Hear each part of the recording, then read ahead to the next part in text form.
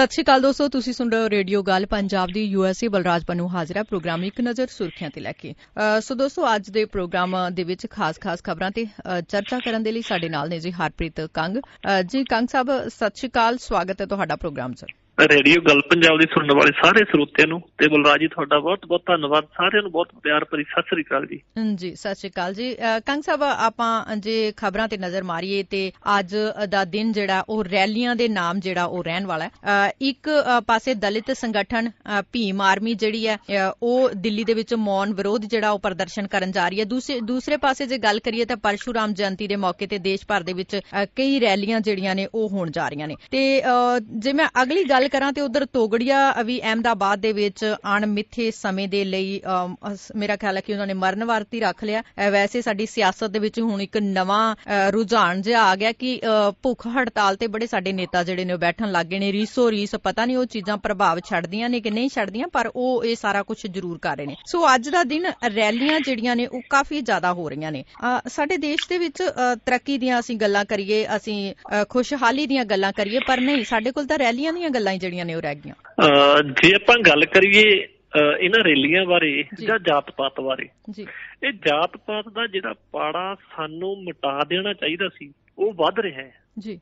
ਤਕਰੀਬਨ ਇਹ ਵੀ ਕਿਆਸ ਲਾਏ ਜਾਂਦੇ ਆ ਜੀ ਵੀ ਇੱਕ ਸਾਲ ਹਲੇ ਇਹੋ ਜਿਹਾ ਰੌਲਾ ਹੋ ਪਊਗਾ। ਹੂੰ। ਕਿਉਂਕਿ ਬੀਜੇਪੀ ਦਾ ਜਿਹੜਾ ਮਾਈਂਡ ਸੈਟ ਹੋਇਆ ਪਿਆ ਉਹ ਇਸੇ ਚੀਜ਼ ਤੇ ਹੋਇਆ ਪਿਆ ਵੀ ਲੋਕ ਜਦੋਂ ਤੱਕ ਲੜਦੇ ਨਹੀਂ ਆਪਸ ਵਿੱਚ ਮਰਦੇ ਨਹੀਂ ਤੇ ਉਸ ਵੇਲੇ ਤੱਕ ਇਹਨਾਂ ਦੀ ਜਿਹੜੀ ਆ ਉਹ ਰਾਜਨੀਤੀ ਆ ਜਾਂ ਜਿਹੜੀਆਂ ਇੰਨੀਆਂ ਰਣਨੀਤੀਆਂ ਆ ਉਹ ਇਹਨਾਂ ਨੂੰ ਇਹ ਪਾਸ ਨਹੀਂ ਸਮਝਦੀ ਉਹਨਾਂ ਨੂੰ। ਜੀ। ਇਹਨਾਂ ਨੇ ਜਦ ਵੀ ਸਰਕਾਰ ਬਣਾਉਣੀ ਆ ਦੰਗਿਆਂ ਦੇ ਵਿੱਚੋਂ ਹੀ ਬਣਾਉਣੀ ਆ। ਜੀ। ਗੋਧਰਾ ਕਾਂਡ ਜਿਹੜਾ ਉਹ ਮੋਦੀ ਦਾ ਇੱਕ ਆਪਾਂ ਕਹਿ ਸਕਦੇ ਆ ਕਿ ਮਾਰਿਆ ਹੋਇਆ ਛੱਕਾ ਜਿਹੜਾ ਅੱਜ ਤੱਕ ਕੰਮ ਕਰ ਰਿਹਾ। ਬਿਲਕੁਲ। ਤੇ ਇਹ ਅੱਜ ਚਾਹੇ ਹੁਣ ਐਸਸੀ ਐਸਟੀ ਐਕਟ ਦੇ ਖਿਲਾਫ ਜਿਹੜਾ ਦਲਿਤ ਭਾਈਚਾਰਾ ਉਹ ਕਹਿੰਦਾ ਜੀ ਅਸੀਂ ਪ੍ਰਦਰਸ਼ਨ ਕਰਨਾ ਤੇ ਦੂਜੇ ਪਾਸੇ ਬ੍ਰਾਹਮਣ ਕੌਮ ਨੇ ਜਿਹੜਾ ਰੱਖ ਲਿਆ ਵੀ ਅਸੀਂ ਵੀ ਕਰਾਂਗੇ। ਜੀ। ਚੱਕਰ ਉਹੀ ਪੈਣਾ ਕਿ ਦੋਨਾਂ ਧਿਰਾਂ ਨੇ ਜਦੋਂ ਆਮੋ ਸਾਹਮਣੇ ਹੋਣਾ ਬਿਲਕੁਲ। ਜਦੋਂ ਦੋਨੇ ਧਿਰਾਂ ਆਮੋ ਸਾਹਮਣੇ ਹੋ ਗਏ ਨਾ ਉਹ ਫੇਰ ਚੱਕਰ ਪੈਂਦਾ। ਇੱਕ ਮੈਂ ਤੁਹਾਨੂੰ ਦੱਸਦਾ ਕਿ ਮੁਸਲਮਾਨਾਂ ਦੇ ਵਿੱਚ ਤਿਉਹਾਰ ਹੈ ਮੁਹੱਰਮ ਦਾ। ਜੀ। ਤੇ ਹਿੰਦੂਆਂ ਦੇ ਵਿੱਚ ਹੈ ਦੀਵਾਲੀ ਦਾ। ਬਿਲਕੁਲ। ਤੇ ਦੀਵਾਲੀ ਜਿਹੜਾ ਉਹ ਹਿੰਦੂ ਜਿਹੜੇ ਮਨਾਉਂਦੇ ਨੇ ਵੀ ਰਾਮ ਚੰਦਰ ਜੀ 14 ਸਾਲ ਦਾ ਬਨਵਾਸ ਕੱਟ ਕੇ ਘਰ ਆਏ ਤਾਂ ਅਸੀਂ ਪਟਾਕੇ ਵੀ ਚਲਾਉਣੇ ਆ ਤੇ ਅਸੀਂ ਦੀਪਮਾਲਾ ਵੀ ਕਰਨੀ ਆ। ਜੀ। ਦੀਵੇ ਵੀ ਜਗਾਉਣੇ ਆ। ਤੇ ਮੁਹੱਰਮ ਦੇ ਵਿੱਚ ਉਹ ਇਹਨੂੰ ਸੋਗਮੇ ਦਿਨ ਮਨਾਉਂਦੇ ਨੇ। ਹੂੰ। ਤੇ ਜਦੋਂ ਉਹ ਇਸ ਦਿਨ ਦੇ ਉੱਤੇ ਰੋਂਦੇ ਪਿੱਟਦੇ ਨੇ ਆਪਣੇ ਸਰੀਰ ਨੂੰ ਤਸ਼ੱਦਦ ਦਿੰਦੇ ਨੇ। ਜੀ। ਹੁਣ ਇੱਕ ਪਾਸੇ ਇਹ ਦੋਨੇ ਤਿਹਾਰ ਜੇ ਇੱਕ ਦਿਨ ਆ ਜਾਣ ਕਿ ਉਸ ਦਿਨ ਉਹਨੇ ਨੇ ਖੁਸ਼ੀ ਮਨਾਣੀ ਹੋਵੇ ਤੇ ਉਹਨਾਂ ਨੇ ਆਪਣਾ ਅਫਸੋਸ ਜ਼ਾਹਰ ਕਰਨਾ ਹੋਵੇ ਤੇ ਉਹ ਸੜਕਾਂ ਦੇ ਉੱਤੇ ਅਫਸੋਸ ਜ਼ਾਹਰ ਕਰਦੇ ਫਿਰਦੇ ਹੋਣ ਤੇ ਦੂਜੇ ਪਟਾਕੇ ਜਲਾਉਂਦੇ ਹੋਣ। ਜੀ। ਤੇ ਫੇਰ ਇਹਨਾਂ ਦੇ ਵਿੱਚ ਟਕਰਾਅ ਹੋਣਾ ਸੁਭਾਵਿਕ ਹੈ। ਜੀ। ਕਹਿਣ ਦਾ ਮਤਲਬ ਦੋਨਾਂ ਦੇ ਵਿਚਾਰ ਆਪੋਜ਼ਿਟ ਹੋਣ ਤੇ ਇੱਕ ਸੜਕ ਤੇ ਇਕੱਠੇ ਹੋ ਜਾਣ ਆਮੋ ਸਾਹਮਣੇ ਹੋ ਜਾਣ। ਜੀ ਬਿਲਕੁਲ। ਤੇ ਹੁਣ ਇਹੀ ਕੁਝ ਹੋ ਰਿਹਾ ਕਿ ਦਲਿਤ ਭਾਈਚਾਰਾ ਤੇ ਬ੍ਰਾਹਮਣ ਭਾਈਚਾਰਾ। ਜੀ। ਜਿਹੜਾ ਇਹ ਕੋਈ ਨਾ ਕੋਈ ਬਹਾਨਾ ਲੱਭ ਕੇ ਇੱਕ ਦੂਜੇ ਦੇ ਸਾਹਮਣੇ ਖੜੇ ਹੋਣ ਦਾ ਯਤਨ ਕਰ ਰਿਹਾ ਜਾਂ ਕਹ ਲਓ ਵੀ ਇਹਨਾਂ ਨੂੰ ਇੱਕ ਦੂਜੇ ਦੇ ਸਾਹਮਣੇ ਖੜੇ ਹੋਣ ਲਈ ਪਿੱਛੋਂ ਤਾਕਤ ਕੋਈ ਕੰਮ ਕਰ ਰਹੀ ਆ। ਜੀ ਬਿਲਕੁਲ। ਲੋਕਾਂ ਨੂੰ ਆਪਸ ਵਿੱਚ ਉਲਝਾ ਕੇ ਤੇ ਫੇਰ ਭਾਵੇਂ ਅਸੀਂ ਜਿੰਨੇ ਮਰਜ਼ੀ ਘੁਟਾਲੇ ਕਰੀਏ ਫਿਰ ਲੋਕਾਂ ਦਾ ਧਿਆਨ ਉਧਰ ਆਉਂਦਾ ਹੀ ਨਹੀਂ। ਬਿਲਕੁਲ। ਐਵੇਂ ਚੌਧਰ ਦੇ ਲਾਲਚ ਦੇ ਵਿੱਚ ਕਈ ਜਥੇਬੰਦੀਆਂ ਬਣੀਆਂ ਹੋਈਆਂ ਕਈ ਸੰਗਠਨ ਬਣੇ ਹੁੰਦੇ ਨੇ ਕਈ ਦਲ ਬਣੇ ਹੁੰਦੇ ਨੇ ਕਈ ਸੈਨਾਵਾਂ ਬਣੀਆਂ ਹੋਈਆਂ। ਤੇ ਜਦੋਂ ਉਹਨਾਂ ਦੇ ਜਥੇਬੰਦਕ ਢਾਂਚੇ ਵੱਲੋਂ ਕੋਈ ਐਲਾਨ ਕਰਤਾ ਜਾਂਦਾ ਤੇ ਜਦੋਂ ਕੋਈ ਸੱਟ ਚੋਟ ਲੱਗ ਜਾਂਦੀ ਹੈ ਜਾਂ ਕਿਸੇ ਦੀ ਜਾਨ ਚਲੀ ਜਾਂਦੀ ਹੈ ਨਾ ਫਿਰ ਉਹਦੇ ਘਰ ਵਿੱਚੋਂ ਜਿਹੜੇ ਬਿਆਨ ਪੈਂਦੇ ਨੇ ਫਿਰ ਉਹਨਾਂ ਨੂੰ ਕਿਸੇ ਘੁਟਾਲੇ ਨਾਲ ਕੋਈ ਮਤਲਬ ਨਹੀਂ ਹੁੰਦਾ। ਜੀ। ਇਹੀ ਚੱਕਰ ਜਿਹੜੀਆਂ ਏਜੰਸੀਆਂ ਜਾਂ ਕਹਿ ਲਓ ਜਾਂ ਆਪਾਂ ਕਹਿ ਲਈਏ ਕਿ ਸਰਕਾਰ ਦਾ ਜਾਂ ਬੀਜੇਪੀ ਦਾ ਇਹੋ ਇੱਕ ਹੁਣ ਮਨੋਰਥ ਬਣ ਚੁੱਕਾ ਕਿ ਲੋਕਾਂ ਨੂੰ ਆਪਸ ਵਿੱਚ ਉਲਝਾ ਕੇ ਰੱਖੋ ਤਾਂ ਕਿ ਲੋਕ ਇਹਨਾਂ ਤੇ ਉਂਗਲੀ ਨਾ ਚੱਕ ਸਕਣ। ਹੂੰ ਬਿਲਕੁਲ ਬਿਲਕੁਲ ਬਿਲਕੁਲ।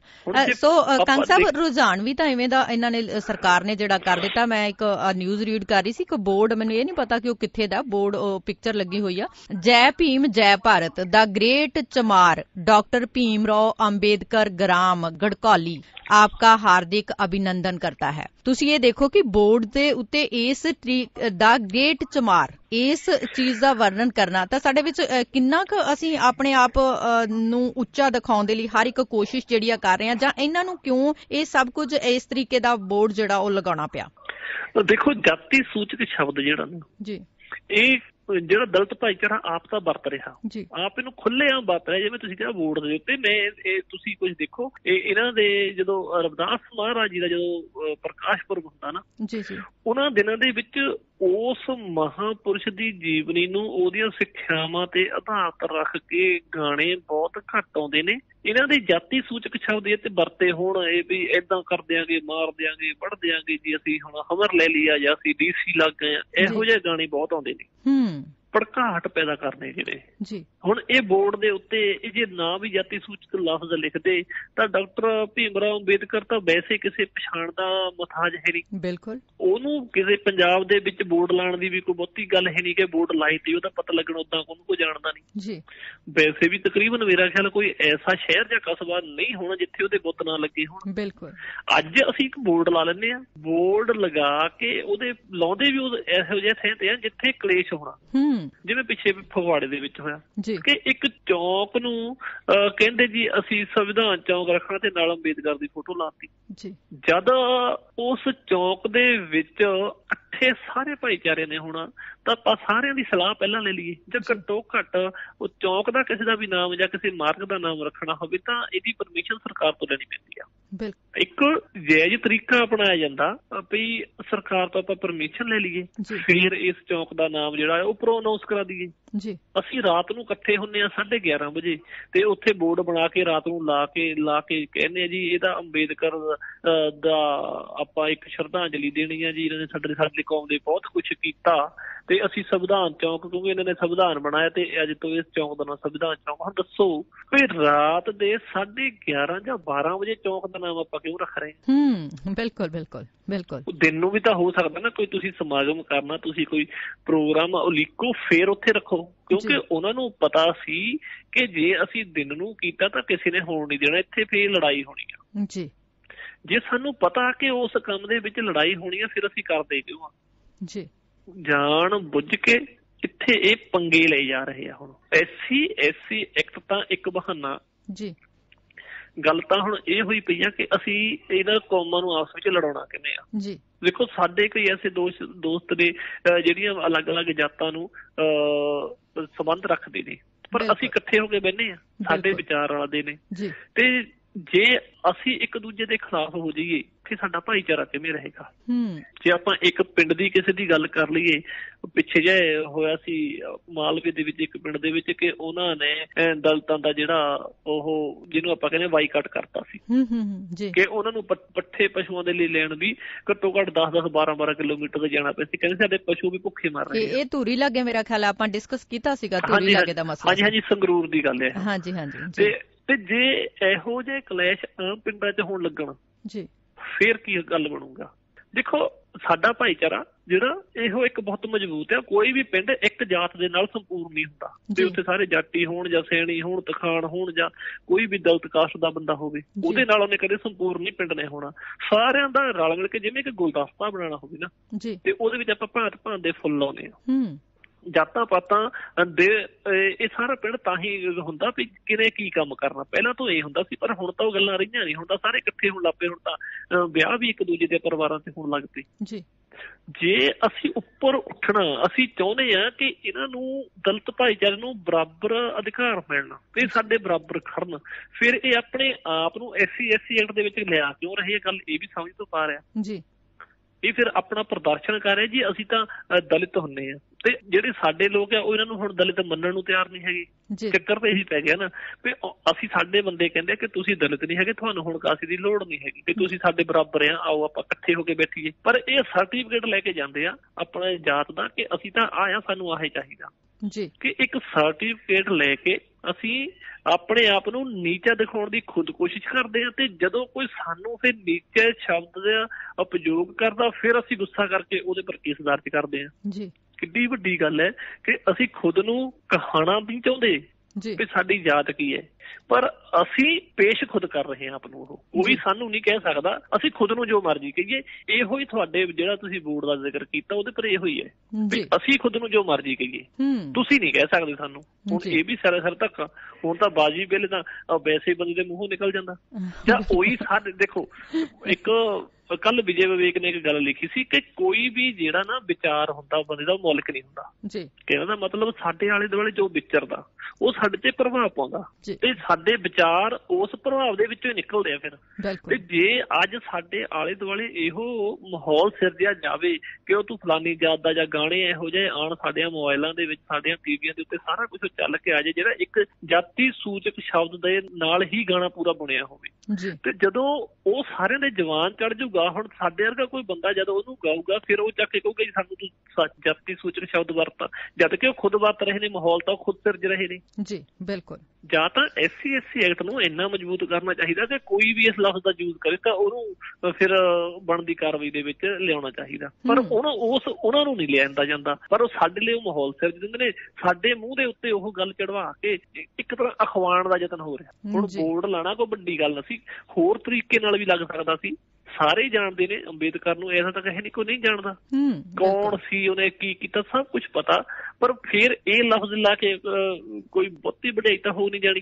ਜੀ ਬਿਲਕੁਲ। ਅਸ ਮਹਾਰਾਜ ਦੀ ਜਿਹੜੀ ਬਾਣੀ ਗੁਰੂ ਗ੍ਰੰਥ ਸਾਹਿਬ ਵਿੱਚ ਦਰਜ ਹੈਗੀ ਆ ਉਹਨਾਂ ਨੇ ਥਾਂ ਥਾਂ ਤੇ ਲਿਖਿਆ ਕਿ ਕਹਿ ਰਵਿਦਾਸ ਚਮਾਰ ਜੀ ਗੁਰਬਾਣੀ ਦੀ ਗੱਲ ਆਪਾਂ ਕਰਦੇ ਆ ਪਰ ਉਹਨਾਂ ਜਿੰਨਾ ਮਹਾਨ ਸ਼ਾਇਦ ਅੱਜ ਦੇ ਦੁਨਿਆਵੀ ਲੋਕ ਨਹੀਂ ਬਣ ਸਕਦੇ। ਜੀ। ਜਿਨ੍ਹਾਂ ਨੇ ਆਪਣੇ ਆਪ ਨੂੰ ਇਸ ਤਰੀਕੇ ਨਾਲ ਵਰਣਨ ਕੀਤਾ ਤੇ ਇਹ ਵਰਣਨ ਉਸ ਤਰੀਕੇ ਨਾਲ ਨਹੀਂ ਕਰ ਸਕਦੇ। ਇਹਨਾਂ ਦੇ ਵਿੱਚ ਉਹਦੀਆਂ ਸਿੱਖਿਆਵਾਂ ਦੀ ਹਲੇ ਤੱਕ ਥੋੜ ਹੈਗੀ ਆ ਤੇ ਜਦੋਂ ਤੱਕ ਰਾਜਨੀਤਿਕ ਪਾਰਟੀਆਂ ਦੇ ਹੱਥਾਂ ਦੇ ਇਹਨਾਂ ਨੇ ਗੋਲੇ ਬਣੇ ਰਹਿਣਾ ਜਾਂ ਇਹ ਕਹਿ ਲਓ ਭਈ ਇਹਨਾਂ ਦੀਆਂ ਸਿਆਸੀ ਚਾਲਾਂ ਦੇ ਇਹਨਾਂ ਨੇ ਗੋਲੇ ਬਣੇ ਰਹਿਣਾ ਫਿਰ ਇਹਨਾਂ ਨੇ ਆਪਣਾ ਨੁਕਸਾਨ ਖੁਦ ਤਾਂ ਕਰਨਾ ਹੀ ਆ। ਨਾਲ ਹੋਰ ਧਰਮਾਂ ਦਾ ਵੀ ਕਰਨਾ ਤੇ ਬ੍ਰਾਹਮਣ ਭਾਈਚਾਰੇ ਨੂੰ ਵੀ ਇਹੋ ਹੀ ਬੇਨਤੀ ਆ ਕਿ ਜਾਤ ਪਾਤ ਦੇ ਉੱਪਰ ਉੱਠੀਏ। ਜੀ। ਹੁਣ ਮੈਂ ਤੁਹਾਨੂੰ ਇੱਕ ਗੱਲ ਛੋਟੀ ਜਿਹੀ ਹੋਰ ਆਦਾ ਕਿ ਪਰਮੇਸ਼ ਵਰਮਾ ਤੇ ਹਮਲਾ ਹੋਇਆ ਜੀ। ਬਿਲਕੁਲ। ਇੱਕ ਦਿਲਪ੍ਰੀਤ ਬਾਬਾ ਨਾਮ ਦੇ ਸ਼ਖਸ ਨੇ ਕੀਤਾ। ਜਿਹੜਾ ਕਿ ਕੇਸ ਦਾੜੇ ਦੇ ਵਿੱਚ ਪੱਗ ਬੰਨ੍ਹਦਾ ਹੂੰ। ਹੁਣ ਕੁਝ ਲੋਕਾਂ ਨੇ ਉਹਨਾਂ ਦੀ ਆਪਸ ਵਿੱਚ ਕੀ ਗੱਲ ਹੋਈ ਆ ਸਾਨੂੰ ਕਿਸੇ ਨੂੰ ਨਹੀਂ ਪਤਾ। ਬਿਲਕੁਲ। ਬਾਬਾ ਕੌਣ ਹੈ? ਪਰਮੇਸ਼ ਵਰਮਾ ਅਸਲ ਜ਼ਿੰਦਗੀ ਵਿੱਚ ਕੌਣ ਹੈ? ਸਾਨੂੰ ਤਾਂ ਪਤਾ ਵੀ ਇਹਦੇ ਤਿੰਨ ਚਾਰ ਗਾਣੇ ਆ ਜੇ ਵੀਡੀਓ ਬਣਾਉਣ ਦਾ ਮੁੰਡਾ ਜਿਮ ਦਾ ਟ੍ਰੇਨਰ ਆ ਇੰਨਾ ਹੀ ਪਤਾ ਨਾ ਪਰਮੇਸ਼ ਵਰਮਾ ਦੇ ਬਾਰੇ। ਇਹ ਤੋਂ ਪਰ ਤਾਂ ਨਹੀਂ ਕਿਸੇ ਨੂੰ ਪਤਾ ਕਿ ਉਹ ਨਿੱਜੀ ਜ਼ਿੰਦਗੀ ਦੇ ਵਿੱਚ ਕੀ ਆ। ਬਿਲਕੁਲ। ਤੇ ਦਿਲ ਦਿਲਪ੍ਰੀਤ ਬਾਬਾ ਆਪਣੀ ਜ਼ਿੰਦਗੀ ਦੇ ਵਿੱਚ ਕੀ ਆ? ਜਿਨ੍ਹਾਂ ਨੂੰ ਕੁਝ ਨਹੀਂ ਵੀ ਪਤਾ ਨਾ ਹੂੰ ਹੂੰ ਹੂੰ। ਉਹਨਾਂ ਨੇ ਕੀ ਕੀਤਾ?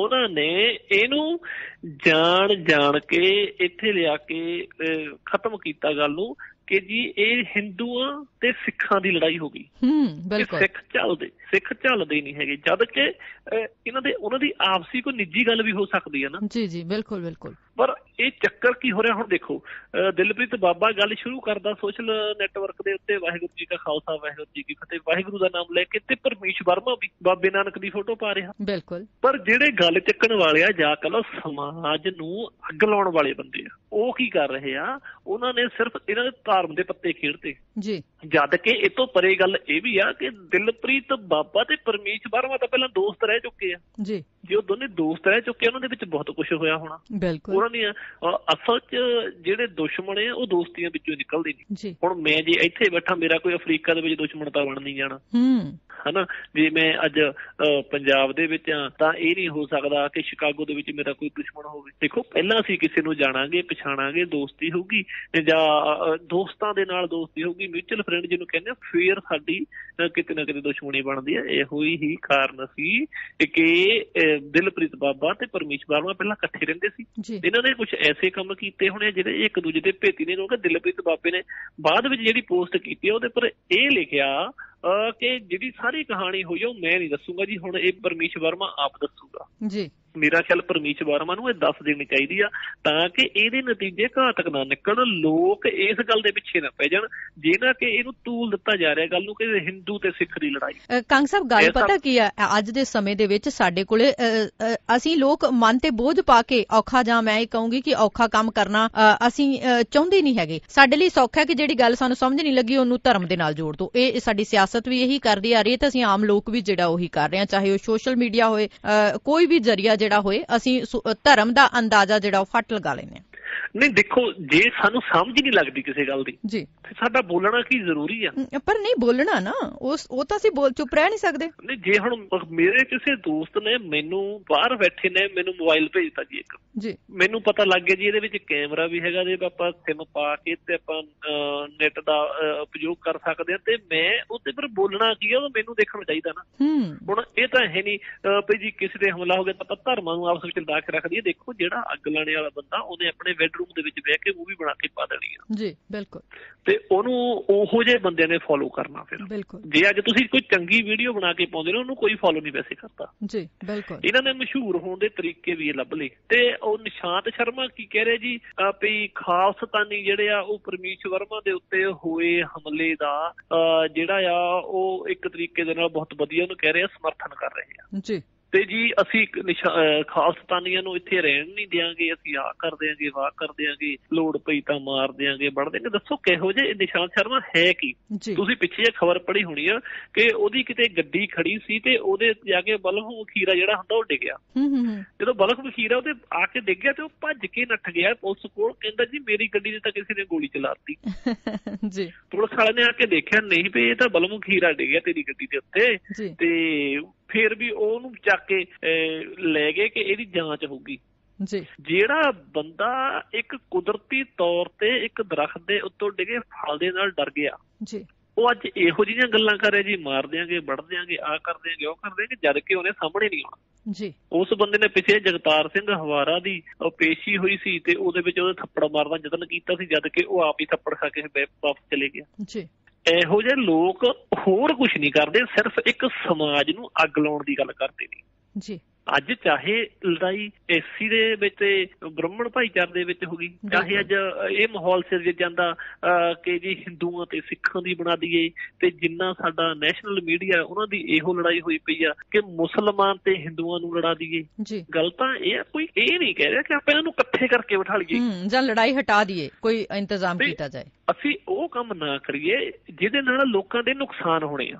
ਜੀ ਬਿਲਕੁਲ ਬਿਲਕੁਲ। ਅੱਜ ਤੱਕ ਕਿਸੇ ਨੂੰ ਅਹ, ਸ਼ਾਂਤੀ ਜਿਹੜਾ ਪੁਰਸਕਾਰ ਮਿਲਦਾ ਨੋਬਲ ਦਾ ਮੇਰਾ ਖਿਆਲ ਭਾਰਤ ਵਿੱਚ ਕਿਸੇ ਨੂੰ ਪਤਾ ਹੀ ਨਹੀਂ ਹੋਣਾ ਕਿ ਕੋਈ ਸ਼ਾਂਤੀ ਦਾ ਮਿਲਦਾ। ਜੀ ਜੀ। ਕਿਉਂਕਿ ਇਹਨਾਂ ਦੇ ਖੂਨ ਵਿੱਚ ਹੈ ਹੀ ਨਹੀਂ ਸ਼ਾਂਤੀ। ਜੀ ਬਿਲਕੁਲ। ਲੋਕਾਂ ਦਾ ਨੁਕਸਾਨ ਕਰਕੇ ਅੱਗ ਲਾ ਕੇ ਮੇਰਾ ਖਿਆਲ ਇਹਨਾਂ ਨੇ ਆਪ ਬਾਅਦ ਚ ਘਰੋਂ ਨਿਕਲਣਾ। ਬਿਲਕੁਲ। ਜਦ ਕਿ ਜਦ ਕਿ ਇਹਨਾਂ ਨੂੰ ਪਤਾ ਹੁੰਦਾ ਕਿ ਨੁਕਸਾਨ ਚਾਹੇ ਸਿੱਧਾ ਹੋਵੇ ਚਾਹੇ ਅਸਿੱਧਾ ਹੋਵੇ ਉਹ ਸਾਡਾ ਵੀ ਹੋ ਜਾਣਾ। ਜੀ। ਸਮਾਜ ਨੂੰ ਅੱਗ ਲਾ ਕੇ ਕੋਈ ਗੱਲ ਨਹੀਂ ਬਣਨੀ ਚਾਹੇ ਇਹ ਸਰਕਾਰਾਂ ਨੂੰ ਵੀ ਸਮਝਣਾ ਚਾਹੀਦਾ ਜਾਂ ਏਜੰਸੀਆਂ ਨੂੰ ਵੀ ਸਮਝਣਾ ਚਾਹੀਦਾ ਕਿ ਅੱਜ ਐਸੀ ਜੇ ਸੜਕਾਂ ਦੇ ਉੱਤੇ ਹੈਗੇ ਆ ਤੇ ਪਰਸ਼ੂਰਾਮ ਜਿਹੜੀ ਸੈਨਾ ਉਹਨਾਂ ਨੂੰ ਇਹ ਰੈਲੀਆਂ ਨਾ ਕੱਢਣ ਦਿੱਤੀਆਂ ਜਾਣ। ਜੇ ਪਰਸ਼ੂਰਾਮ ਰੈਲੀਆਂ ਹੈਗੀਆਂ ਤਾਂ ਐਸੀ ਭਾਈਚਾਰੇ ਨਾਲ ਬਹਿ ਕੇ ਗੱਲ ਕੀਤੀ ਜਾਵੇ। ਜੀ। ਹੁਣ ਫਗਵਾੜੇ ਦੇ ਵਿੱਚ ਅੱਜ ਤੱਕ ਰੋਸ ਹੋ ਰਿਹਾ ਤੇ ਐਸੀ ਭਾਈਚਾਰੇ ਨੇ ਪਹਿਲਾਂ ਤਾਂ ਬੋਰਡ ਲਾ ਕੇ ਉਹ ਜੋ ਕੀਤਾ ਉਸ ਤੋਂ ਬਾਅਦ ਇਹਨਾਂ ਦਾ ਜਿਹੜਾ ਇੱਕ ਤਰ੍ਹਾਂ ਵਿਰੋਧ ਸੀ ਉਹ ਜਦੋਂ ਸ਼ਿਵ ਸੈਨਾ ਵਾਲਿਆਂ ਨੇ ਕਰਤਾ ਕਿ ਅਸੀਂ ਤਾਂ ਜੀ ਇਹ ਚੌਂਕ ਦਾ ਨਾਮ ਰੱਖਣ ਜਿਹੜਾ ਇਹਦਾ ਨਾਮ ਤਾਂ ਪੇਪਰ ਚੌਂਕ ਹੈ ਅਸੀਂ ਇਹਦਾ ਨਾਮ ਤੁਹਾਨੂੰ ਕਿਵੇਂ ਰੱਖਣ ਦੇ ਦਈਏ? ਤੇ ਉਹ ਉਹਦੀ ਲੜਾਈ ਹੋ ਗਈ ਤੇ ਕੇਸ ਵੀ ਦਰਜ ਹੋਏ ਨੇ ਤੇ ਜਿਹੜਾ ਇਲਾਜ ਹੈ ਉਹ ਵੀ ਪੰਜਾਬ ਸਰਕਾਰ ਨੇ ਕਿਹਾ ਜੀ ਅਸੀਂ ਕਰਾਵਾਂਗੇ। ਜੀ। ਦੱਸੋ ਪੰਜਾਬ ਸਰਕਾਰ ਨੂੰ ਕੀ ਲੋੜ ਸੀ? ਹੂੰ।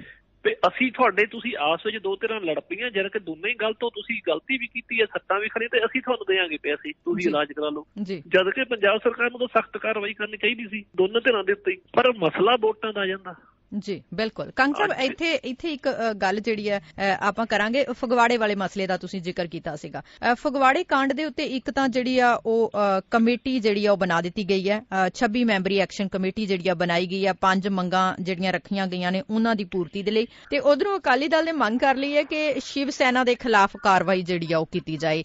ਕਹਿੰਦੇ ਜੀ ਇੱਕ ਹਫ਼ਤੇ ਦਾ ਅਸੀਂ ਕਾਂਗਰਸ ਨੂੰ ਟਾਈਮ ਦਿੰਨੇ ਆ ਜੇ ਕਾਂਗਰਸ ਇਸ ਖਿਲਾਫ ਕੋਈ ਕਾਰਵਾਈ ਸ਼ਿਵ ਸੈਨਾ ਦੇ ਖਿਲਾਫ ਨਹੀਂ ਕਰਦੀ ਤਾਂ ਕਹਿੰਦੇ ਜੀ ਅਸੀਂ ਬੁਰੇ ਪੇਸ਼ ਆਵਾਂਗੇ? ਨਹੀਂ ਦੇਖੋ ਮੈਂ ਪਹਿਲਾਂ ਗੱਲ ਕਰਕੇ ਹਟਿਆ ਕਿ ਰਾਤ ਨੂੰ 11:30 ਵਜੇ ਜੇ ਕੋਈ ਵੀ ਕਮਿਊਨਿਟੀ ਦਾ ਬੰਦਾ ਉੱਥੇ ਬੋਰਡ ਲਾਣ ਜਾਂਦਾ ਕਿ ਆ ਚੌਂਕ ਸਾਡਾ ਹੋ ਗਿਆ ਜੀ ਜੀ। ਤੇ ਦੂਜੇ ਆ ਕੇ ਉਹਨੂੰ ਹਟਾਉਣ ਲੱਗ ਪਏ। ਜੀ।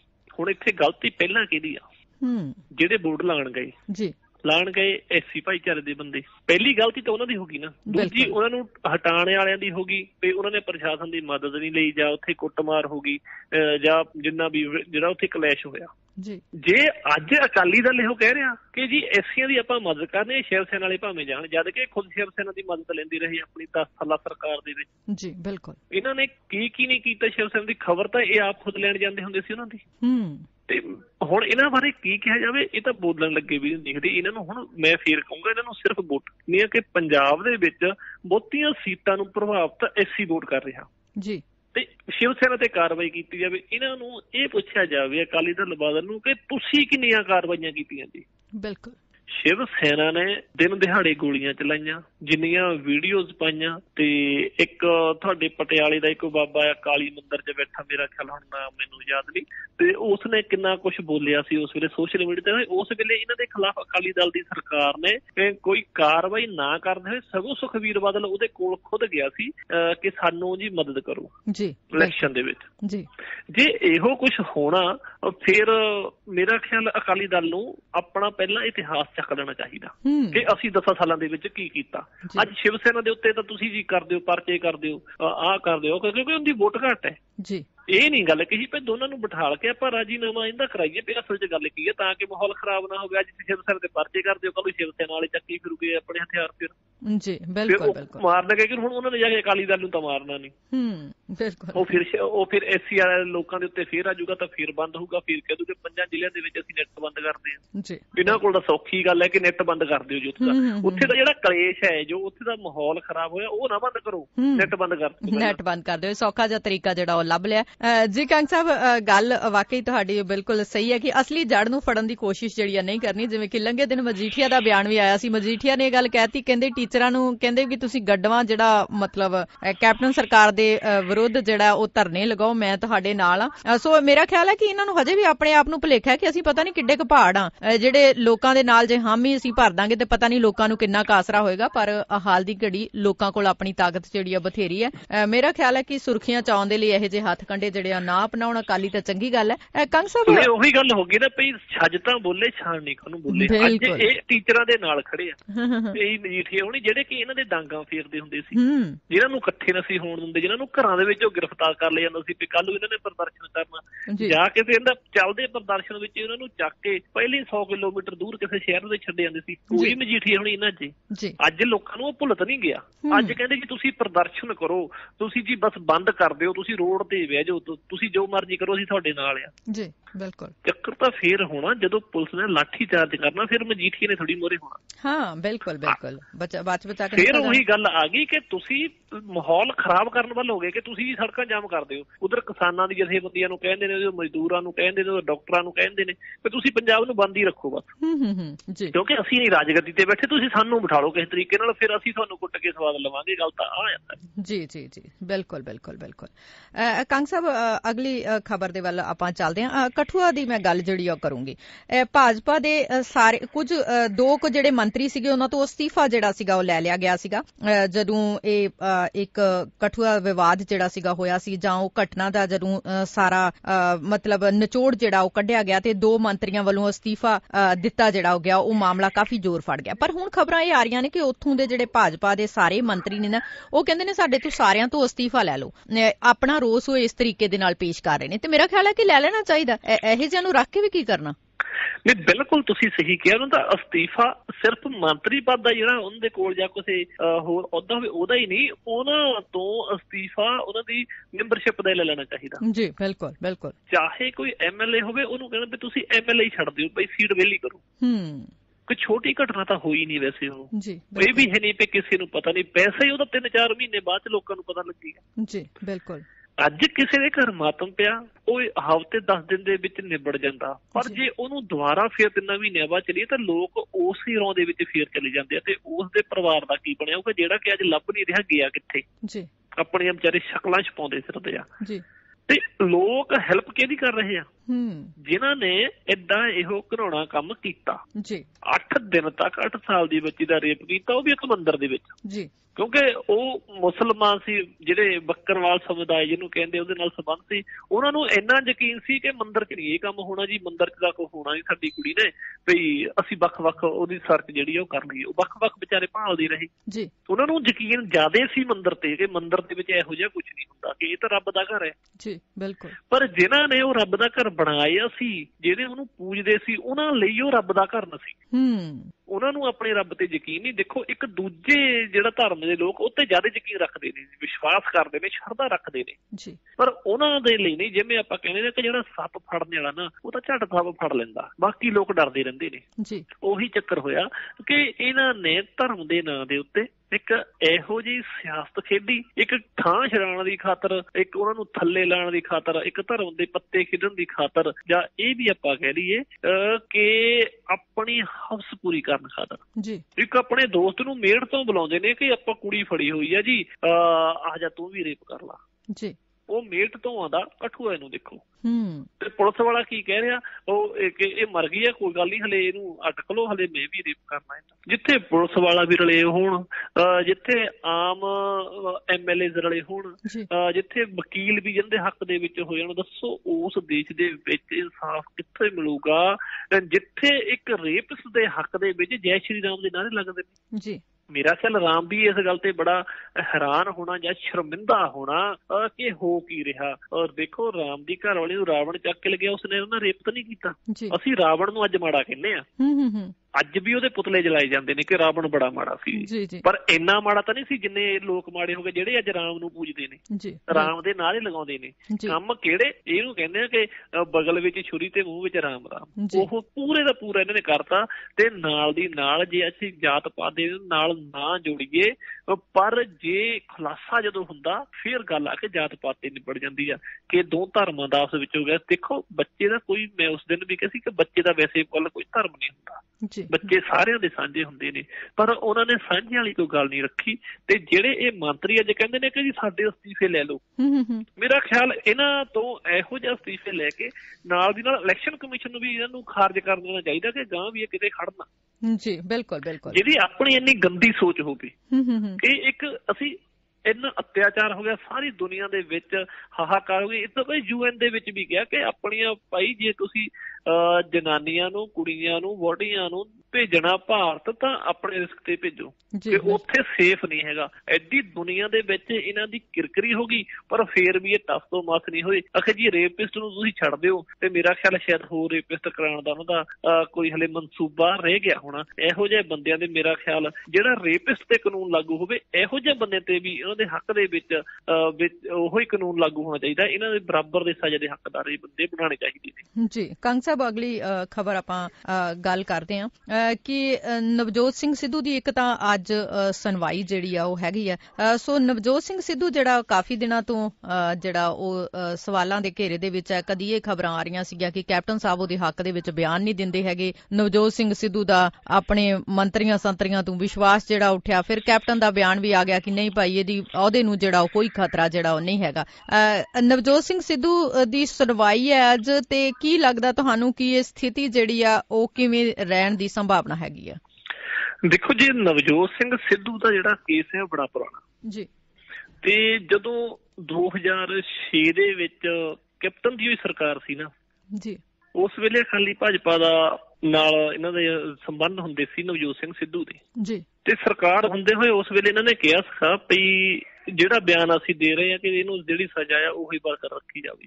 ਜੀ। ਵਾਧੇ ਦੀ ਕੋਸ਼ਿਸ਼ ਨਹੀਂ ਕੀਤੀ ਨਾ ਸਰਕਾਰ ਮੇਰੇ ਖਿਆਲ ਵਾਧੇ ਦੀ ਕਰ ਸਕਦੀ ਆ। ਬਿਲਕੁਲ। ਕਿ ਇਹਨਾਂ ਨੂੰ ਹੋਰ ਸਜ਼ਾ ਦਿੱਤੀ ਜਾਵੇ। ਤੇ ਅੱਜ ਵੀ ਉਹਨਾਂ ਨੇ ਉਹੀ ਬਿਆਨ ਰਿਪੀਟ ਕੀਤਾ। ਜਦ। ਕਿ ਮੀਡੀਆ ਦੇ ਉੱਤੇ ਰੌਲਾ ਪਾਇਆ ਜਾ ਰਿਹਾ ਕਿ ਸਰਕਾਰ ਨੇ ਅੱਜ ਇਹਦੇ ਖਿਲਾਫ ਜਿਹੜਾ ਆ ਉਹ ਬਿਆਨ ਦਿੱਤਾ। ਦੇਖੋ ਜੇ ਤਾਂ ਸਰਕਾਰ ਨੇ ਖਿਲਾਫ ਹੀ ਬਿਆਨ ਦੇਣਾ ਹੋਵੇ ਨਾ ਉਹਦੇ ਨਵਜੋਤ ਸਿੰਘ ਸਿੱਧੂ ਦੇ ਉਹ ਫੇਰ ਤਾਂ ਬਹੁਤ ਹੋਰ ਗੱਲਾਂ ਵੀ ਨਿਕਲ ਕੇ ਸਾਹਮਣੇ ਆਈਆਂ ਕਿ ਪਹਿਲਾਂ ਉਹਨਾਂ ਨੂੰ ਅਸਤੀਫਾ ਹੀ ਦਵਾ ਲੈ ਲੈਂਦੇ ਉਹਨਾਂ ਦਾ। ਜੀ। ਲੋਕਾਂ ਨੂੰ ਅਜੇ ਰੌਲਾ ਪਾਉਣ ਦੀ ਆ ਵਿਰੋਧੀ ਪਾਰਟੀ ਨੂੰ ਰੌਲਾ ਪਾਉਣ ਦੀ ਲੋੜ ਹੀ ਨਾ ਸੀ ਬਣਨੀ। ਬਿਲਕੁਲ। ਤੇ ਉਹਦੇ ਅਸਤੀਫਾ ਉਹਨੇ ਖੁਦ ਹੀ ਲੈ ਲੈਣਾ ਸੀ ਤੇ ਉਹ ਅੱਜ ਹੋ ਸਕਦਾ ਸੀ ਕਿ ਉੱਥੇ ਤੱਕ ਉਹਨੂੰ ਲੈ ਕੇ ਨਾ ਜਾਂਦੇ ਜੀ। ਅੱਜ ਬੜਾ ਨਾਮ ਹੈ ਕੈਬਨਿਟ ਦੇ ਵਿੱਚ ਦੂਜੇ ਨੰਬਰ ਦੇ ਆਪਾਂ ਕਹਿ ਸਕਦੇ ਹਾਂ ਕਿ ਮੰਤਰੀ ਪਦ ਦੇ ਉੱਤੇ ਬੈਠੇ ਨੇ ਨਵਜੋਤ ਸਿੰਘ ਸਿੱਧੂ ਹੁਣੀ। ਤੇ ਪਰ ਜਿਹੜੀ ਅੱਜ ਪੇਸ਼ੀ ਨੇ, ਇਹ ਸਾਰਾ ਕੁਝ ਦੱਸ ਦੇਣਾ ਕਿ ਹੈ ਕੀ ਅਸਲ 'ਚ? ਜੀ। ਹੁਣ ਵਿਰੋਧੀ ਪਾਰਟੀ ਤੇ ਇਹ ਵੀ ਕਹਿ ਰਹੇ ਆ ਜੀ ਕਿ ਸਰਕਾਰ ਨੂੰ ਚਾਹੀਦਾ ਸੀ ਕਿ ਵੱਧ ਸਜ਼ਾ ਦੀ ਮੰਗ ਕੀਤੀ ਜਾਂਦੀ ਕਿ ਇਹਨਾਂ ਨੇ ਵੱਧ ਦੀ ਨਹੀਂ ਕੀਤੀ। ਜੀ। ਪਰ ਜਿਹੜੀ ਸਜ਼ਾ ਹੋ ਸੀ ਹੋਈ ਸੀ ਉਹਨਾਂ ਨੇ ਕਹਿਤਾ ਕਿ ਉਹੀ ਸਜ਼ਾ ਬਰਕਰਾਰ ਰੱਖੀ ਜਾਵੇ। ਜੀ। ਤੇ ਨਵਜੋਤ ਸਿੰਘ ਸਿੱਧੂ ਦੇ ਉੱਤੇ ਮੇਰਾ ਖਿਆਲ ਕਾਫੀ ਆਪਣੇ ਤੇ ਭੂ ਸਵਾਰ ਹੋ ਗਿਆ ਜੀ। ਸਰਕਾਰ ਨੇ ਜਿਵੇਂ ਲੋਕਾਂ ਤੋਂ ਗੱਲਾਂ ਸੁਣਦੇ ਸਰਕਾਰ ਨੇ ਮੇਰੀ ਪਿੱਠ ਵਿੱਚ ਛੁਰਾ ਮਾਰਿਆ ਜੀ ਆਹ ਕੀਤਾ ਉਹ ਕੀਤਾ। ਮੇਰੇ ਖਿਆਲ ਆਉਣ ਵਾਲੇ ਟਾਈਮ ਦੇ ਵਿੱਚ ਉਹਨਾਂ ਨੂੰ ਸਾਰਾ ਪਤਾ ਲੱਗ ਜਾਊਗਾ ਵੈਸੇ ਅੱਜ ਕੀ ਫੈਸਲਾ ਆਉਂਦਾ ਅੱਜ ਆਉਂਦਾ ਵੀ ਜਾਂ ਨਹੀਂ ਆਉਂਦਾ ਜਦੋਂ ਵੀ ਫੈਸਲਾ ਆਊਗਾ ਪਤਾ ਲੱਗ ਜੂਗਾ ਕਿ ਨਵਜੋਤ ਸਿੰਘ ਸਿੱਧੂ, ਅਹ, ਕਿੱਥੇ ਤੱਕ ਪਹੁੰਚ ਚੁੱਕੇ ਨੇ ਤੇ ਉਹਨਾਂ ਨੂੰ ਰਾਜਨੀਤੀ 'ਚ ਰਹਿਣਾ ਚਾਹੀਦਾ ਜਾਂ ਨਹੀਂ ਰਹਿਣਾ ਚਾਹੀਦਾ। ਵੈਸੇ ਵੀ ਇਹੋ ਜਿਹਾ ਤੇਜ਼ ਤਰਾਰ ਬੰਦਾ ਨਵਜੋਤ ਸਿੰਘ ਸਿੱਧੂ ਤੇ ਜਿਹਦੇ ਮੂਹਰੇ ਕਦੇ ਕੋਈ ਮਜੀਠੀਆ ਨਹੀਂ ਬੋਲ ਸਕਦਾ ਕਦੇ ਕੋਈ ਸੁਖਵੀਰ ਬਾਦਲ ਨਹੀਂ ਬੋਲ ਸਕਿਆ ਤੇ ਅੱਜ ਉਹਨਾਂ ਨੂੰ ਬੋਲਣ ਦਾ ਮੌਕਾ ਮਿਲ ਗਿਆ। ਬਿਲਕੁਲ। ਕਈ ਵਾਰੀ ਨਵਜੋਤ ਸਿੰਘ ਸਿੱਧੂ ਨੇ ਕਹਿਤਾ ਕਿ ਜੀ ਮੇਰੇ ਨਾਲ ਤਾਂ ਸਾਹਮਣੇ ਬਹਿ ਕੇ ਡਿਬੇਟ ਕਰ ਲੈਣਾ। ਜੀ। ਪਰ ਅਕਾਲੀ ਦਲ ਨੇ ਇਹ ਗੱਲ ਕਦੇ ਨਹੀਂ ਮੰਨੀ ਡਿਬੇਟ ਦੀ ਉਹਦੀ ਕਿਉਂਕਿ ਉਹਨਾਂ ਨੂੰ ਪਤਾ ਸੀ ਕਿ ਇਹਦੇ ਮੂਹਰੇ ਗੱਲ ਕਰਨੀ ਬੜੀ ਮੁਸ਼ਕਲ ਹੈ। ਤੇ ਉਹਨਾਂ ਨੂੰ ਹੁਣ ਮੌਕਾ ਮਿਲ ਗਿਆ ਇਹੋ ਜਿਹੀਆਂ ਗੱਲਾਂ ਤਾਂ ਕਰੂਗੇ ਇਹਨਾਂ ਨੂੰ ਅਸਤੀਫਾ ਦੇਣਾ ਚਾਹੀਦਾ। ਜਦ ਕੈਪਟਨ ਸਾਹਿਬ ਨੇ ਕਹਿਤਾ ਕਿ ਇਹਦੇ ਅਸਤੀਫੇ ਦੀ ਕੋਈ ਲੋੜ ਨਹੀਂ ਹੈਗੀ। ਜੇ ਉਹਨਾਂ ਨੂੰ ਸਜ਼ਾ ਦਿੱਤੀ ਜਾਂਦੀ ਹੈ। ਜੀ। ਫਿਰ ਉਹਦਾ ਅਸਤੀਫਾ ਲੈਣਾ ਬਣਦਾ। ਹਾਲੇ ਤੱਕ ਉਹ ਦੋਸ਼ੀ ਕਰਾਰ ਨਹੀਂ ਹੋਏ। ਉਹਨਾਂ ਦੀ ਅਪੀਲ ਲੱਗੀ ਹੋਈ ਆ ਤੇ ਜੇ ਉਹਨਾਂ ਦੇ ਸਿਰ ਦੋਸ਼ ਲੱਗ ਜਾਂਦੇ ਨੇ ਉਹਨਾਂ ਨੂੰ ਸਜ਼ਾ ਹੋ ਜਾਂਦੀ ਹੈ ਫਿਰ ਉਹਨਾਂ ਦਾ ਅਸਤੀਫਾ ਬਿਲਕੁਲ ਮਨਜ਼ੂਰ ਹੋ ਜਾਣਾ ਜੀ ਫਿਰ ਉਹਨਾਂ ਨੂੰ ਦੇਣਾ ਹੀ ਪੈਣਾ। ਤੇ ਵੈਸੇ ਕਹਿੰਦੇ ਹੁੰਦੇ ਵੇ ਪਾਣੀ ਆਣ ਤੋਂ ਪਹਿਲਾਂ ਮੌਜੇ ਨਹੀਂ ਖੋਲਣੇ ਚਾਹੀਦੇ ਤੇ। ਉਹੀ ਚੱਕਰ ਹੋਇਆ ਪਿਆ ਅਕਾਲੀ ਦਲ ਦਾ ਤਾਂ ਵੈਸੇ ਅਕਾਲੀ ਦਲ ਦੇ ਬਿਆਨਾਂ ਨੂੰ ਅੱਜ ਕੱਲ ਸੀਰੀਅਸ ਲੈਣ ਦੀ ਕੋਈ ਲੋੜ ਨਹੀਂ। ਜੀ ਬਿਲਕੁਲ ਬਿਲਕੁਲ। ਕੰਗ ਸਾਹਿਬ ਅੱਜ ਕੈਪਟਨ ਸਾਹਿਬ ਦੀ ਮੀਟਿੰਗ ਜਿਹੜੀ ਆ ਰਾਹੁਲ ਗਾਂਧੀ ਦੇ ਨਾਲ ਫੇਰ ਵੀ ਆ। ਲੰਘੇ ਦਿਨਾਂ ਦੇ ਵਿੱਚ ਵੀ ਮੀਟਿੰਗ ਹੋਈ ਸੀਗੀ। ਪਰ ਕਹਿੰਦੇ ਸੀਗੇ ਕਿ ਇੱਕ ਵਾਰੀ ਹੋਰ ਇਸ ਮਸਲੇ ਦੇ ਉੱਤੇ ਜਿਹੜਾ ਉਹ ਚਰਚਾ ਕੀਤੀ ਜਾਏਗੀ। ਸੋ ਰਾਹੁਲ ਗਾਂਧੀ ਦੇ ਨਾਲ ਵਜ਼ਾਰਤ ਦੇ ਵਿੱਚ ਵਾਅਦੇ ਨੂੰ ਲੈ ਕੇ ਅੱਜ ਮੀਟਿੰਗ ਜਿਹੜੀ ਆ ਹੋਣ ਜਾ ਰਹੀ ਹੈ। ਸੋ ਕੀ ਕਿਆਸਰ ਆਈਆਂ ਨੇ ਤੁਹਾਡੀਆਂ? ਦੇਖੋ ਜੀ ਕੈਪਟਨ ਸਰਕਾਰ ਬਣੀ ਨੂੰ 13 ਮਹੀਨੇ ਹੋ ਗਏ। ਜੀ। ਤੇ ਕੈਬਨਿਟ ਦਾ ਜਿਹੜਾ ਆ ਇਹਨਾਂ ਨੇ ਵਾਧਾ ਕਰਨਾ। ਕਿਉਂਕਿ ਜਦੋਂ ਤੱਕ ਰਾਣਾ ਗੁਰਜੀਤ ਸੀ ਉਦੋਂ ਤੱਕ ਠੀਕ ਸੀ ਪਰ ਉਹਨਾਂ ਦੇ ਅਸਤੀਫੇ ਤੋਂ ਬਾਅਦ ਉਹਨਾਂ ਦੀ ਸੀਟ ਵੀ ਬਿਲਕੁਲ ਵਿਹਲੀ ਪਈ ਆ। ਤੇ ਮੇਰਾ ਖਿਆਲ ਆ ਇੱਕ ਦੋ ਹੋਰ ਵੀ ਮੰਤਰੀ ਨਵੇਂ ਜਿਹੜੇ ਆ ਬਣਾ ਦਿੱਤੇ ਜਾਣ। ਤੇ ਕਿਹਨਾਂ ਨੂੰ ਬਣਾਇਆ ਜਾਂਦਾ ਇਹਦੇ ਬਾਰੇ ਜਿਹੜੀ ਮੀਟਿੰਗ ਹੈ ਉਹ ਰਾਹੁਲ ਗਾਂਧੀ ਦੇ ਨਾਲ ਹੋਣੀ ਆ। ਵੈਸੇ ਇਹਨਾਂ ਨੇ ਸਾਰਾ ਜਿਹੜਾ ਨਕਸ਼ਾ ਤਿਆਰ ਕਰਕੇ ਰਾਹੁਲ ਗਾਂਧੀ ਤੋਂ ਇੱਕ ਮਨਜ਼ੂਰੀ ਉਹ ਲੈਣੀ ਹੁੰਦੀ ਆ। ਜੀ ਬਿਲਕੁਲ। ਤੇ ਉਹ ਮਨਜ਼ੂਰੀ ਲੈਣ ਕੈਪਟਨ ਸਾਹਿਬ ਜਾਣਗੇ ਹੁਣ। ਰਾਹੁਲ ਗਾਂਧੀ ਦੇ ਕੋਲ ਤੇ ਉਹਨਾਂ ਦੇ ਨਾਲ ਮੀਟਿੰਗ ਦੇ ਵਿੱਚੋਂ ਕੀ ਨਿਕਲਦਾ? ਤੇ ਪੰਜਾਬ ਨੂੰ ਨਵੇਂ ਮੰਤਰੀ ਕਿਹੜੇ ਮਿਲਦੇ ਨੇ ਤੇ ਕਿਸ ਸੋਚ ਦੇ ਧਾਰਨੀ ਨੇ? ਮੇਰਾ ਖਿਆਲ ਹੈ ਇਹਦੇ ਵਿੱਚ ਵੀ ਸਰਕਾਰ ਨੇ ਵੀ ਹੁਣ ਕੈਪਟਨ ਅਮਰਿੰਦਰ ਸਿੰਘ ਨੇ ਵੀ ਦਲਿਤ ਪੱਤਾ ਕੋਈ ਨਾ ਕੋਈ ਖੇਡ ਦੇਣ ਦਾ ਕਿਸੇ ਨਾ ਕਿਸੇ ਦਲਿਤ ਨੂੰ ਬਣਾ ਕੇ, ਅਹ, ਜਿਹੜਾ ਦਲਿਤਾਂ ਦੇ ਮਨ ਵਿੱਚ ਰੋਸ ਪੈਦਾ ਹੋ ਗਿਆ, ਅਹ, ਉਹਨੂੰ ਸਾਰੇ ਅੱਜ ਕੈਸ਼ ਕਰਨਾ ਚਾਹੁੰਦੇ ਨੇ।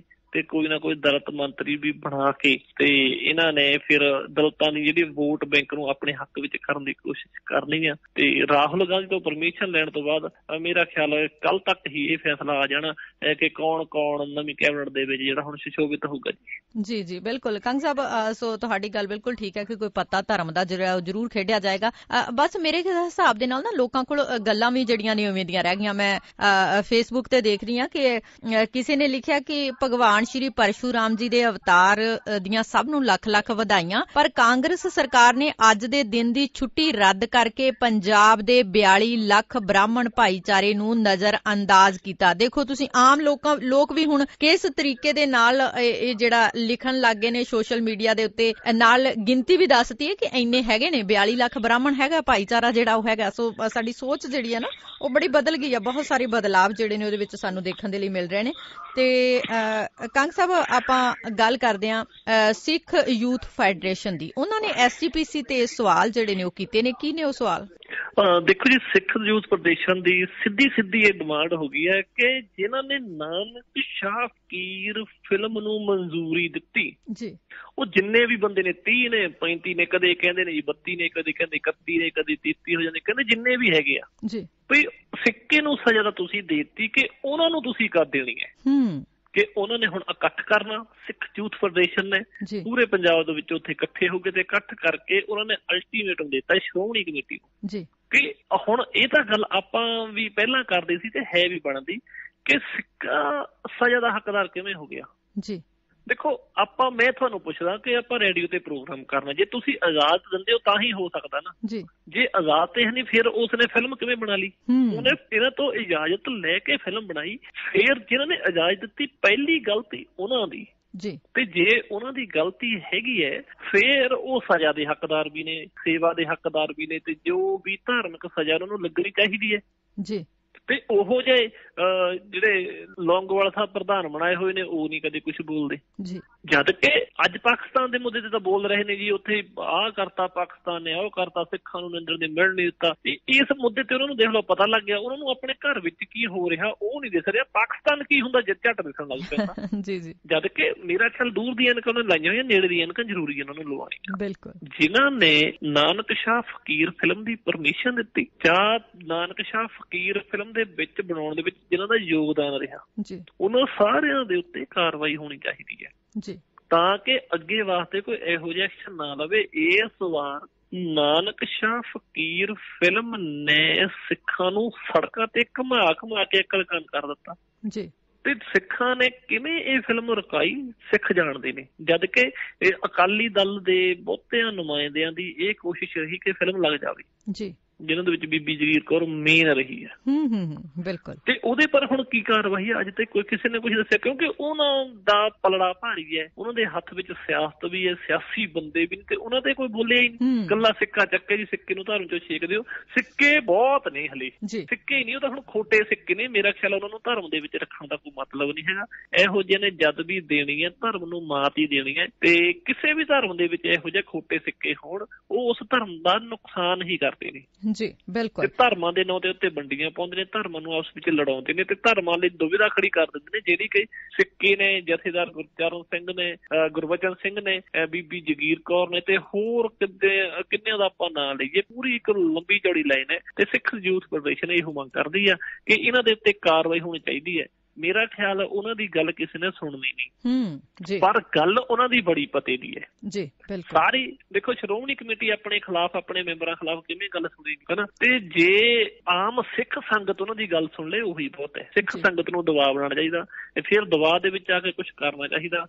ਗੁਰਦੁਆਰਿਆਂ ਦੇ ਉਤੋਂ ਇਹਨਾਂ ਦਾ ਜਿਹੜਾ ਆਪਾਂ ਕਬਜ਼ੇ ਦੀ ਗੱਲ ਕਰਦੇ ਹਾਂ ਨਾ ਤੇ ਇੱਕ ਦਿਨ ਮੇਰੀ ਮੀਟਿੰਗ ਹੋਈ ਸੀ ਤੇ ਮੈਂ ਕਿਹਾ ਸੀ ਵੀ ਚਲੋ ਠੀਕ ਹੈ ਆਪਣੇ ਜਿਹੜੇ ਸ਼੍ਰੋਮਣੀ ਕਮੇਟੀ ਦੇ ਗੁਰਦੁਆਰੇ ਹੈਗੇ ਨੇ ਇਹਦੇ ਕ- ਸ਼੍ਰੋਮਣੀ ਅਕਾਲੀ ਦਲ ਦੇ ਬੰਦੇ ਕਾਬਜ ਨੇ ਜੇ ਆਪਾਂ ਇਹਨਾਂ ਨੂੰ ਹਟਾਣਨੇ ਆ ਗੁਰਦੁਆਰੇ ਦੇ ਕਾਬਜ ਤਾਂ ਬਿਠਾਲਣੇ ਕਿਹੜੇ ਨੇ? ਹੂੰ ਬਿਲਕੁਲ। ਬਿਠਾ ਬਿਠਾਲਣੇ ਵਾਲੇ ਵੀ ਉਦਾਂ ਦੇ ਹੀ ਨੇ। ਜੀ ਬਿਲਕੁਲ। ਉਹੀ ਤੇ ਗੱਲ ਹੋਈ ਤੇ ਗੰਜੀ ਗਈ, ਗਲੋਲੋ ਆਈ, ਚੱਕਰ ਤਾਂ ਫੇਰ ਉਹੀ ਰਹਿ ਗਿਆ।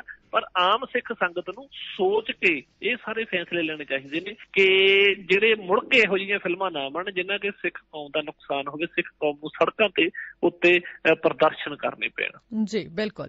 ਚਲਦੇ ਚਲਦੇ ਗੰਗ ਸਾਹਿਬ, ਆਪਣੇ ਕੋਲ 5 ਮਿੰਟ ਆ। ਪੰਜਾਬ ਸਰਕਾਰ ਨੇ ਕਿਸਾਨਾਂ ਦੀ ਮੰਗ ਜਿਹੜੀ ਆ ਪੂਰੀ ਕੀਤੀ ਹੈ। ਕਹਿੰਦੇ ਜੀ ਬੀਟੀ ਕਾਟਨ ਜਿਹੜੇ ਬੀਜ ਬੀਜ ਨੇ, ਇਹਨਾਂ ਤੇ ਅਸੀਂ ਬੈਨ ਜਿਹੜਾ ਉਹ ਲਗਾ ਦਿੰਨੇ ਆ ਦੇਖੋ ਬਹੁਤ ਵਧੀਆ ਗੱਲ ਹੈ। ਜਿਹੜੀ ਪੰਜਾਬ ਸਰਕਾਰ ਨੇ ਇਹ ਕਿਸਾਨਾਂ ਦੀ ਮੰਗ ਨੂੰ ਇਹੋ ਮੰਨ ਲਿਆ। ਅਸਲ ਜਣੇ ਬੀਟੀ ਬੀਜ ਹੈ ਕੀ? ਬੀਟੀ ਬੀਜ ਉਹ ਨੇ ਵੀ ਜੇ ਅਸੀਂ ਉਹ ਬੀਜ ਬੀਜਤਾ ਤੇ ਉਸ ਬੀਜ ਵਿੱਚੋਂ ਨਿਕਲਣ ਵਾਲੇ ਪੌਦੇ ਨੂੰ ਤੇ ਜਿਹੜਾ ਉਹਨੂੰ ਫਲ ਲੱਗਣਾ। ਜੀ। ਉਹਨੂੰ ਬਿਮਾਰੀ ਨਹੀਂ ਪੈਂਦੀ। ਉਸ ਬੀਜ ਦੇ ਵਿੱਚ ਹੀ ਇੰਨਾ ਕਹਿ ਵੀ ਵਾਇਰਸ ਭਰ ਦਿੱਤਾ ਜਾਂਦਾ ਜਿਹੜਾ ਕਿ ਲੜਦਾ ਬਿਮਾਰੀਆਂ ਦੇ ਨਾਲ। ਤੇ ਉਹ ਕਿੰਨਾ ਜ਼ਹਿਰੀਲਾ ਹੋਊਗਾ। ਬਿਲਕੁਲ ਬਿਲਕੁਲ। ਤੇ ਜਿਹੜੀ ਉਹਦੇ ਵਿੱਚ ਫਿਰ ਪੈਦਾਵਾਰ ਹੋਣੀ ਹੈ। ਤਾਂ ਪਹਿਲਾਂ ਨਰਮੇ ਦੀ ਜਿਹੜੀ ਫਸਲ ਸੀ ਨਾ ਬੀਟੀ ਕਾਟਨ ਜਿਹਨੂੰ ਤੁਸੀਂ ਕਿਹਾ ਤੇ ਉਹਦੇ ਲਈ ਬੀਟੀ ਜਿਹੜਾ ਬੀਜ ਦੀ ਉਹਦੀ ਪ੍ਰਵਾਨਗੀ ਦਿੱਤੀ ਸੀ। ਜੀ। ਪਰ ਜਿਹੜੀ ਬੈਂਗਣ ਦੀ ਫਸਲ ਹੈ ਉਹ ਬੀਟੀ ਬੀਜ ਨੂੰ ਮਨਜ਼ੂਰੀ ਨਹੀਂ ਮਿਲੀ ਕਿ ਇਹ ਤਾਂ ਆਮ ਲੋਕਾਂ ਨੇ ਖਾਣਾ। ਤੇ ਇਹਦੇ ਵਿੱਚ ਤਾਂ ਪਹਿਲਾਂ ਹੀ ਜ਼ਹਿਰੀ ਹੋ ਗਿਆ ਜਿਹੜਾ ਪੌਦਾ ਹੀ ਜ਼ਹਿਰੀ ਹੈ ਤੇ ਉਹਨੂੰ ਜਿਹੜਾ ਫਿਰ ਫਲ ਲੱਗਣਾ ਉਹ ਵੀ ਜ਼ਹਿਰੀ ਹੋਣਾ ਤੇ ਇਹ ਬਿਮਾਰੀਆਂ 'ਚ ਵਾਧਾ ਕਰੂਗਾ। ਜੀ। ਪਰ ਕਿਸਾਨਾਂ ਦੀ ਇਹ ਮੰਗ ਸੀ ਕਿ ਹੁਣ ਕੱਲਾ ਰੂਹ ਤਾਂ ਬਣਦਾ ਨਹੀਂ ਕਾਟਨ ਤੋਂ ਹਾਂ ਆਪਾਂ ਇਹ ਕਹਿ ਦਿੰਦੇ ਵੀ ਨਰਮੇ ਤੋਂ ਕੱਲਾ ਰੂਹ ਤਾਂ ਬਣਦਾ ਨਹੀਂ ਇਹਦੇ ਵਿੱਚੋਂ ਬੜੇਵੇਂ ਨਿਕਲਦੇ ਨੇ ਜਿਹੜੇ ਅਸੀਂ ਪਸ਼ੂਆਂ ਨੂੰ ਪਾਉਂਦੇ ਆ ਜਿਹਦੀ ਖਾਲ ਵੀ ਬਣਦੀ ਹੈ ਜਿਹਦੇ ਵਿੱਚੋਂ ਤੇਲ ਵੀ ਬਣਦਾ। ਤੇ ਜੇ ਉਹ ਵੀ ਜ਼ਹਿਰੀਲਾ ਹੁੰਦਾ ਤੇ ਉਹ ਵੀ ਤਾਂ ਬਿਮਾਰੀਆਂ ਦਾ ਕਾਰਨ ਹੈ ਨਾ। ਉਹਦੇ ਤੇਲ ਨੂੰ ਥਾਂ ਥਾਂ ਦੇ ਕਈ ਕੰਮਾਂ ਲਈ ਵਰਤਿਆ ਜਾਂਦਾ ਤੇ ਜਿਹੜੀ ਉਹਦੀ ਖਾਲ ਹੈ ਉਹ ਪਸ਼ੂ ਖਾਂਦੇ ਨੇ ਤੇ ਆਪਾਂ ਸਿੱਧੇ ਵੀ ਬੜੇਵੇਂ ਲਿਆ ਕੇ ਜਿਹੜੇ ਉਹ ਪਸ਼ੂਆਂ ਨੂੰ ਪਾਉਂਦੇ ਤੇ ਉਹ ਵੀ ਫਿਰ ਅਸਿੱਧੇ ਰੂਪ ਦੇ ਵਿੱਚ ਸਾਡੀ ਸਿਹਤ ਤੇ ਅਸਰ ਕਰਦੇ ਨੇ। ਜੀ ਬਿਲਕੁਲ ਬਿਲਕੁਲ। ਚਾਹੇ ਨਰਮੇ ਦੀ ਫਸਲ ਨੂੰ ਬਹੁਤ ਬਿਮਾਰੀਆਂ ਲੱਗਦੀਆਂ ਉਹਦੀ ਕੋਈ ਰੋਕਥਾਮ ਹੈ ਨਹੀਂ ਚਿੱਟੇ ਮੱਛਰ ਦੀ ਅਜੇ ਤੱਕ ਬਿਮਾਰੀ ਦਾ ਕੋਈ ਹੱਲ ਨਹੀਂ ਲੱਭਿਆ। ਪਰ ਫੇਰ ਵੀ ਇਹ ਬੀਟੀ ਜਿਹੜਾ ਬੀਜ ਹੈ ਬੜਾ ਨੁਕਸਾਨਦਾਇਕ ਹੈ। ਹੋਰ ਹੱਲ ਲੱਭਣੇ ਚਾਹੀਦੇ ਨੇ। ਡਾਕਟਰਾਂ ਦੀਆਂ ਟੀਮਾਂ ਬਣਾ ਕੇ ਤਕਰੀਬਨ ਥੋੜੇ ਇਹ ਪੰਜਾਬ ਦੇ ਏਰੀਏ ਦੇ ਵਿੱਚ ਮਾਲਵੇ ਦੇ ਪੂਰੇ ਚ ਨਹੀਂ ਹੈਗਾ ਹੁਣ ਥੋੜੇ ਮਾਲਵੇ ਦੇ ਵਿੱਚ ਹੀ ਇਹ ਹੋਰ ਲੱਗਦਾ। ਉੱਥੋਂ ਇਹਦਾ ਕੋਈ ਨਾ ਕੋਈ ਹੱਲ ਲੱਭਣਾ ਚਾਹੀਦਾ। ਵੈਸੇ ਵੀ ਮੇਰਾ ਖਿਆਲ ਵਿਹਲੇ ਬੈਠੇ ਨੇ ਯੂਨੀਵਰਸਿਟੀਆਂ ਦੇ ਵਿੱਚ ਡਾਕਟਰ। ਸਿਰਫ ਕਾਗਜ਼ਾਂ ਤੇ ਕੰਮ ਹੀ ਕਰਦੇ ਨੇ। ਜਾਂ ਕਿਸੇ ਪਿੰਡ ਜਾ ਕੇ 10 ਕਿਸਾਨ ਇਕੱਠੇ ਕੀਤੇ ਫੋਟੋ ਲਈ ਜੀ ਅਸੀਂ ਕੰਮ ਕੀਤਾ ਸੀ। ਬਾਅਦ ਵਿੱਚ ਆਪਣੇ ਏਸੀ ਰੂਮ ਚ ਆ ਕੇ ਬਹਿ ਜਾਂਦੇ ਨੇ। ਇਹ ਜੇ ਇਹੀ ਡਾਕਟਰ ਜਿਹੜੇ ਨੇ ਜਿਹੜੇ ਯੂਨੀਵਰਸਿਟੀਆਂ ਦੇ ਵਿੱਚ ਅਹ, ਡੇਢ ਡੇਢ 2-2 ਲੱਖ ਤਨਖਾਹਾਂ ਲੈ ਕੇ ਮਹੀਨੇ ਬਾਅਦ ਘਰ ਨੂੰ ਜਾਂ ਰਹਿੰਦੇ ਵੈਸੇ ਘਰ ਨੇ ਘਰ ਨੂੰ ਤਾਂ ਕੀ ਜਾਂਦੇ ਨੇ, ਤਨਖਾਹ ਲੈ ਕੇ ਤੇ ਜਾਂਦੇ ਨੇ। ਤੇ ਇਹਨਾਂ ਨੂੰ ਜੇ ਬੰਨਿਆਂ ਦੇ ਉੱਤੇ ਘੁੰਮੇ ਹੁੰਦੇ ਮੋਟਰਾਂ ਦੇ ਉੱਤੇ ਘੁੰਮੇ ਹੁੰਦੇ ਕਿਸਾਨਾਂ 'ਚ ਵਿਚਰੇ ਹੁੰਦੇ ਤਾਂ ਅੱਜ ਪੰਜਾਬ ਦੀ ਇਹ ਹਾਲਤ ਨਾ ਹੁੰਦੀ। ਤੇ ਇਹਨਾਂ ਨੂੰ ਇਹ ਰੋਕਥਾਮ ਲਈ ਅੱਗੇ ਆਉਣਾ ਚਾਹੀਦਾ। ਜੇ ਇਹ ਨਹੀਂ ਕੁਝ ਕਰ ਸਕਦੇ ਤਾਂ ਇਹਨਾਂ ਨੂੰ ਨੌਕਰੀ ਤੋਂ ਲਾਂਭੇ ਕਰਕੇ ਕੁਝ ਨਵੇਂ ਜਿਹੜੇ ਸਾਡੇ ਨੌਜਵਾਨ ਨੇ ਯੂਥ ਨੇ ਉਹਨਾਂ ਟਾਈਮ ਦਿੱਤਾ ਜਾਣਾ ਚਾਹੀਦਾ ਕਿ ਜਿਹੜੀਆਂ ਕਿਸਾਨੀ ਦੇ ਉੱਤੇ ਦਰਪੇਸ਼ ਸਮੱਸਿਆਵਾਂ ਆ ਰਹੀਆਂ ਤੁਸੀਂ ਉਹਨਾਂ ਦੇ ਹੱਲ ਕੱਢਣੇ ਨੇ ਜਿਹੜੇ ਉਹਨਾਂ ਦੇ ਹੱਲ ਕੱਢ ਸਕਣ ਉਹਨਾਂ ਨੂੰ ਰੱਖਣਾ ਚਾਹੀਦਾ। ਵੈਸੇ ਇਹਨਾਂ ਦੀ ਕੋਈ ਲੋੜ ਨਹੀਂ ਕਿਉਂਕਿ ਅੱਜ ਕਿਸਾਨੀ ਜਿਹੜੀ ਘਟਦੀ ਜਾ ਰਹੀ ਹੈ ਉਹਦੇ ਵਿੱਚ ਕਿਤੇ ਨਾ ਕਿਤੇ ਇਹਨਾਂ ਡਾਕਟਰ ਦਾ ਵੀ ਪੂਰਾ ਪੂਰਾ ਹੱਥ ਹੈਗਾ ਜੀ। ਜੀ ਬਿਲਕੁਲ ਬਿਲਕੁਲ ਬਿਲਕੁਲ। ਕੰਗ ਸਾਹਿਬ ਤੁਹਾਡਾ ਬਹੁਤ ਬਹੁਤ ਸ਼ੁਕਰੀਆ ਕੀਮਤੀ ਸਮਾਂ ਪ੍ਰੋਗਰਾਮ ਨੂੰ ਦੇਣ ਦੇ ਲਈ। ਧੰਨਵਾਦ ਜੀ। ਬਹੁਤ ਬਹੁਤ ਧੰਨਵਾਦ ਜੀ। ਸਤਿ ਸ੍ਰੀ ਅਕਾਲ ਜੀ। ਸਤਿ ਸ਼੍ਰੀ ਅਕਾਲ।